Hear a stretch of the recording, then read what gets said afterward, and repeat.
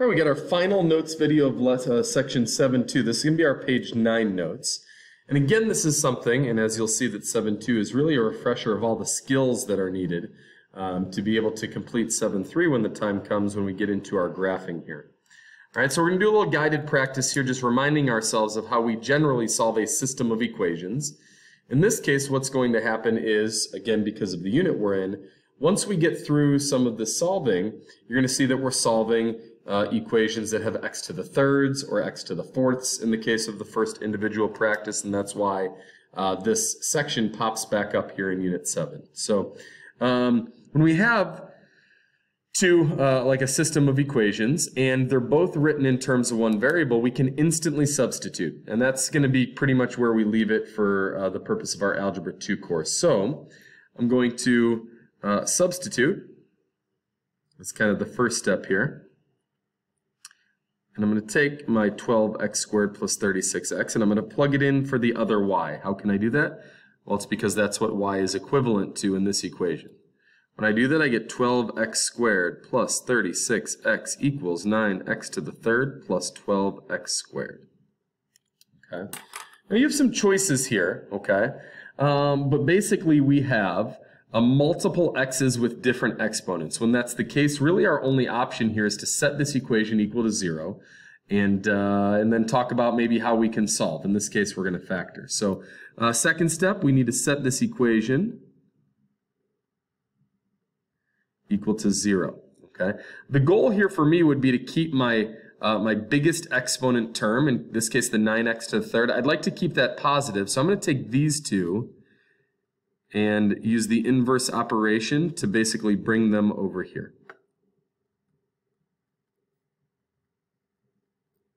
Now it actually just so happens that our x squareds are going to be gone from both sides.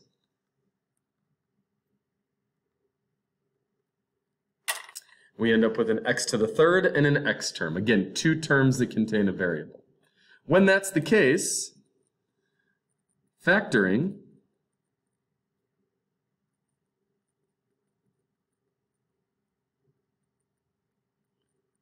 will be the way to go.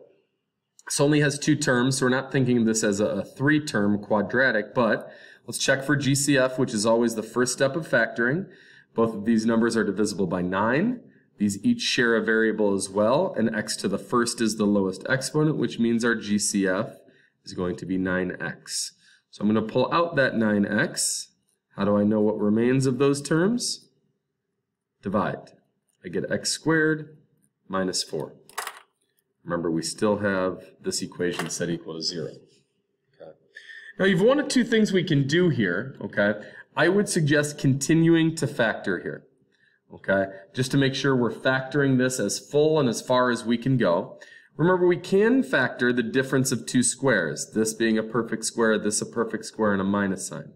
So again, in previous notes, we have factored x squared minus 4, x and x, 2 and 2. And there's no middle term here, so it should make a lot of sense. We need one positive and one negative. Okay. After we have our three factors, or however many factors that come from this, uh, we're going to use the zero product property to solve for x. I'm going to set this equal to 0, our GCF. I'm going to set our two binomial factors equal to 0. And I should get three solutions here. x equals 0, x equals negative 2, and x equals 2. Many of our students will fall into the trap of solving for x so much that they forget what type of problem this is. This is a system of equations. We also have y's. Another clue would be that we're asking you to write your solution as an ordered pair, and to do that we need x's and y's. So our final step here is going to be to plug in each x value to get its corresponding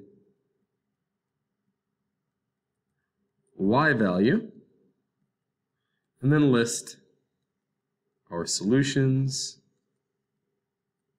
as ordered pairs. Okay. You can pick either equation at the top to plug our answers back into. Okay, so I'm just going to do the I'm going to do the bottom one, so I don't have to cube anything. I don't know if that really uh, matters a whole lot, but let's plug in our x equals zero. If I plug in x equals zero to that bottom equation, this one should be pretty easy. Each of the terms has a zero. Our y would be zero. Zero squared, zero multiply. This is calculator work here. Okay.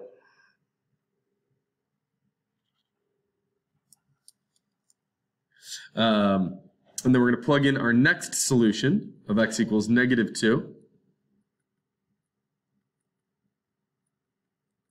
And our other final solution of x equals 2.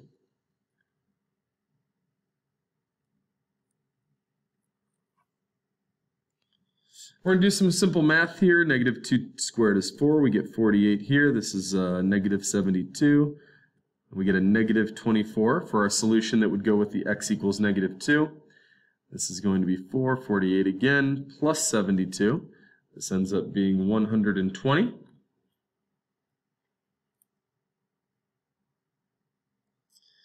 we're going to list our answers as ordered pairs. Our 0 for our x led to a 0 for y. Our negative 2 for x led to a negative 24 for y. Our 2 for x led to a 120 for y.